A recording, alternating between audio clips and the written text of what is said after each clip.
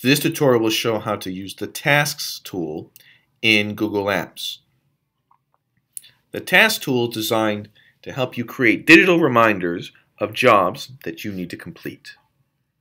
To access, in Gmail, locate the Mail heading just above the Compose button and click the disclosure triangle just to the right. From the drop-down menu, choose Tasks. This brings a pop-up window where you can enter and manage your digital tasks. To create a task, click the plus button and then give your task a title.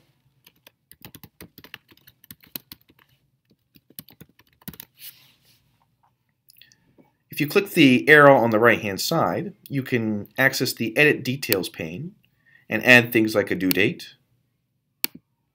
and any additional notes.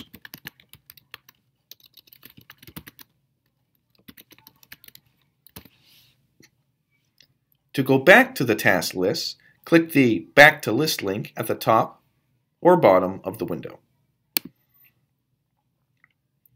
If I go to the far left of the window pane, I can drag the tasks and rearrange the order in any way I see fit. If you click the Actions button in the bottom left-hand corner, you can access those same move up and down tools the edit details screen, but as well as you can indent and unindent tasks. For example, if you have a very large task that has subtasks as part of it, you can build those in so that you can mark off each subtask leading up to com the completion of the big task. You can also email your task lists, print your task lists, and view and access other tools. Another handy tool of tasks is that you can add an email that may be related to a task. So for example, I have an email here that requires me to complete a task. So I want to add it to my tasks list.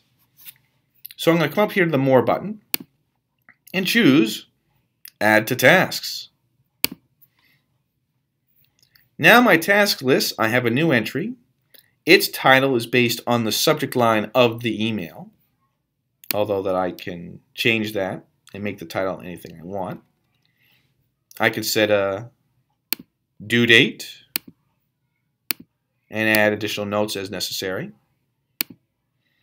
But notice now I have a handy related email link associated with this task that will allow me to refer back to this email at any time. And I'll show you how that works just in a minute.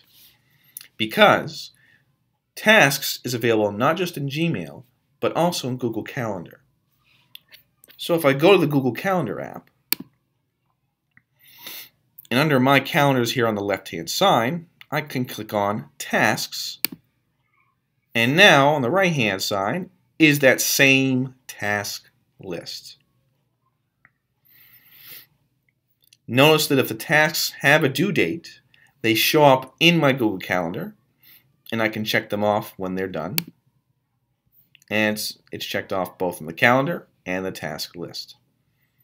If I need to refer back to that email that's associated with a task, notice, yep, there's that related email link. If I click it, it will open the Gmail app, locate the email, and display it.